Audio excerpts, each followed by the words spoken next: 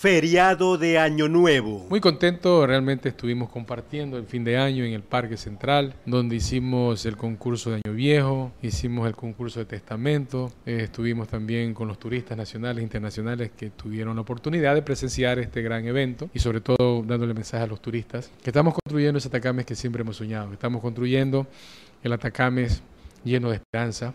con esa esperanza estamos generando confianza al usuario, estamos generando confianza al turista nacional y extranjero. Atacames ya está generando comentarios positivos. Ya el turista tiene otra percepción de venir a Atacames, se han visto los cambios, nos falta mucho por hacer. Tenemos siete meses de administración, pero estamos conscientes, insisto, que este 2015 va a ser unos cambios profundos, radicales. Agua para Tonchigüe. Tenemos ya los, los estudios listos para construir, para empezar a construir el tema de la planta potabilizadora de agua potable que va a abastecer a Same y Tonchigüe.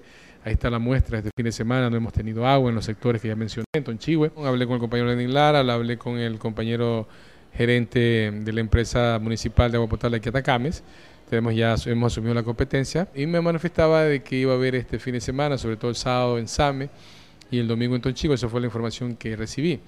Eh, acabo de llegar, estuve en el municipio, me contacté con el ingeniero Huir y lamentablemente no se ha podido abastecer porque en Tonchigüe no ha recibido agua potable en más de un mes, entonces ha tenido inconveniente con las tuberías, de tal forma que hoy día acabo de recibir la información, ya se está abasteciendo a SAME y se está también ya llenando las tuberías y el, tanque reservorio en Tonchigo. Yo espero y aspiro, según esta información que me han dado desde Esmeralda, los técnicos de la EAPA San Mateo, que por la tarde o a más tardar mañana, mañana recibamos eh, agua potable. Planta de agua para Atacame. Y decirle que aparte de los 130 millones que vamos a recibir para repotenciar la planta de agua potable en Esmeralda, para construir la nueva tubería de conducción de agua potable, estamos ya pensando en forma responsable que Atacame tenga su propia planta de tratamiento. Hemos conversado con el BEDE. Significa esto de que no nos vamos a quedar con los brazos cruzados, porque necesitamos tener nuestra propia planta de tratamiento. El equipo técnico ya está en camino, pensando en lo que manifestaba que Atacame, el cantón Atacame, sobre todo Atacame, tenga su propia planta de,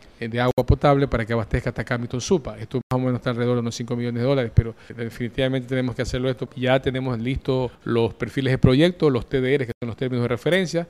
Estamos esperando la viabilidad técnica que parte de Senagua Inmediatamente presentamos al Banco del Estado para que nos dé el dinero para los estudios y a trabajar ya ahora sí en el, proyecto de agua potable para el Cantón Atacame. Puede ser que, nos demore eh, los estudios seis, siete meses, pero paralelamente lo que se está haciendo a través de la decisión política del presidente de la República de darle 130 millones de dólares en un préstamo no reembolsable, tenemos que también forma responsable pensar que Atacame debe tener su propio sistema de agua potable. Seguridad acuática en balnearios. El tema de la seguridad corre a cargo del municipio. Si bien es cierto, los hoteles pagan su patente, permiso de unión de funcionamiento, pero también tiene que haber responsabilidad por los dueños de los hoteles. Sabemos que en este feriado ingresa dinero también al, al, hotelero, al empresario, y tiene que haber también parte de responsabilidad, porque no nos olvidemos que desde Tonchigüe hasta Tonsupa, calculo que habrá más de 20 kilómetros de playa, y poner cada 500 metros un salvavidas es recurso que se va a invertir, lógicamente, en el municipio pero también quiero ver esa responsabilidad de parte del dueño de los hoteles. ¿Por qué no decir, si vemos un sector hotelero que está al frente de la playa,